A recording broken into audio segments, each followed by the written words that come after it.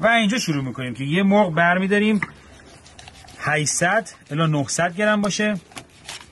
از وسط بازش می‌کنیم. این قسمت رو می‌زنیم. کجاش بود؟ تهش بود. مهم نبود. میذاریمش اینجا و شروع می‌کنیم به مزهدار کردنش. خب ادویه. پودر سیر؟ بریز بریز بریز. خب برش گردونیم. بریز بریز بریز بریز. خب متشکرم. بریم سراغ ادویه ادوی پودر آویشن متشکرم. خوبه؟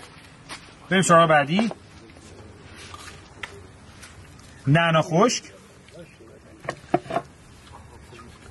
بسیار عالی. بریم سراغ بعدی. فلفل سیاه نمک الان دیگه یک گرفته نمک و فلفل سیاه به مقدار دلخواه. بریزی کمه. خوش نمک. خوش نمک خوبه؟ یه ذره بیشتر. شور میشه. اصلا. فلفل سیاه. شما آب لیمو رو زحمت بکش.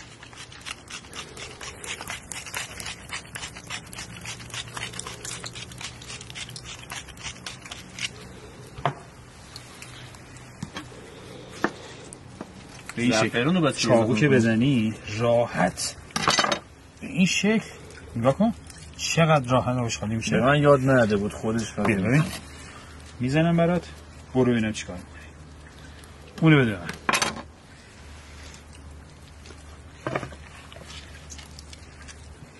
زعفرون نمیشه. خب؟ بریم سراغ زعفرون. تکونش بدیم یه ذره این زعفروناش هم بیاد رو و حالا. شروع می‌کنیم به ماساژ دادنش با آرومی.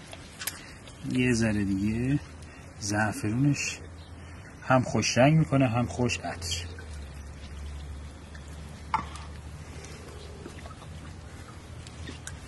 و در آخر روغن زیتون اضافه می‌کنم. دو طرف.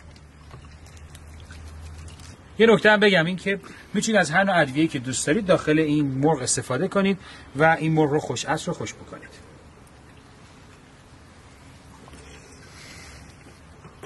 خب دوستان بهتره که این مرغ رو حداقل مثل ما یک ساعت بذارید تو مزه بمونه داخل یخچال ولی من پیشنهاد میدم که هرچی بیشتر بذارید داخل این مواد این مرغ خوشمزه تر میشه. بریم داخل روغن. تا 24 ساعت هم جا داره. تا 24 ساعت که اصلا محشر میشه ترتر میشه. برو آروم مراقب باش.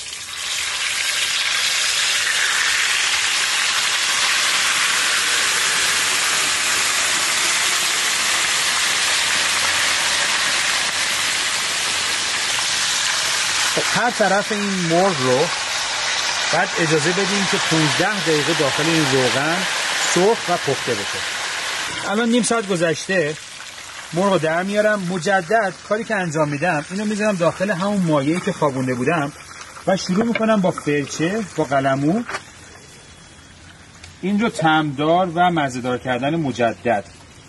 این کار باعث میشه که ترشی زعفرون ادویه‌ای که داشتیم کاملا به همه قسمت مرغمون بشینه و در نهایت که ما اینو داخل کره قرار سرخش کنیم این مواد مجدد داره به خورد مرغمون میره. 20 گرم کره داریم که اضافه می‌کنیم به تابه. زمانی که کاملا آب شد و کرمون داغ شدش مرغ رو برمیگردونیم و می‌ذاریم داخل کره که سرخ بشه. من از کره حیوانی دارم استفاده می‌کنم. حالا کرمون داغ شده و مجدد مرغمون رو می‌ذاریم داخل کره. و به مدت ده دقیقه اجازه میدیم تا کاملا پخته بشه.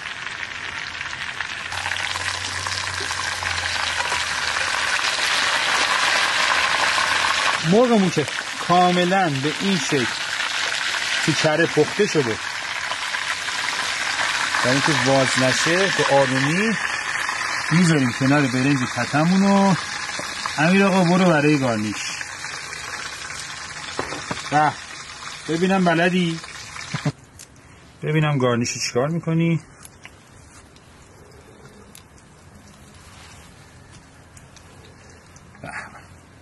بفهمی. بفهم بفهمی. به من این بالش ذره مواد بیشتر زدم می‌دونستم. نظرت؟ مساعد.